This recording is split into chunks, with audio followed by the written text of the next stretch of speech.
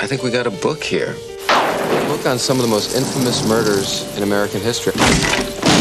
I want to go to where they lived and where they killed, and I want you to take the pictures, and I'm going to write the text. Looking for somebody to take turns at the wheel and share expenses on a week-long cross-country Blue Highways tour of historic murder sites? Brian, who in the right mind is going to want to do that? Early, tell me more about California.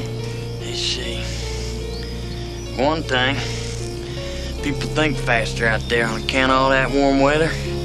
Cold weather make people stupid. That's a fact. I guess that explains why there's so many stupid people around here. I think we should have at least met them first. Beggars can't be choosers. They were the only ones to answer the ride share note, remember? Please don't let them be as boring as Brian's friends. Anything but that. You've got to be kidding me. Look at them. They look like Okies. Oh, jeez, Early, they look kind of weird. Just in case. He can't help the way he was raised. Gotta feel sorry for him. You feel sorry for him. That's so sweet. You you cut your hair. Early cut it.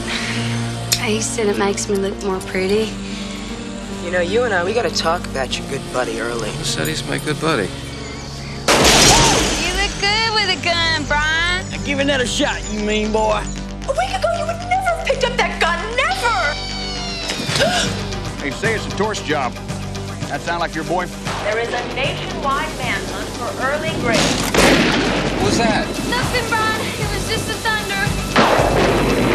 I saw him kill a man! You ain't never killed no one, have you, bro? No. Tell me something big time. How in the hell you gonna write a book about something you don't know nothing about? Mm.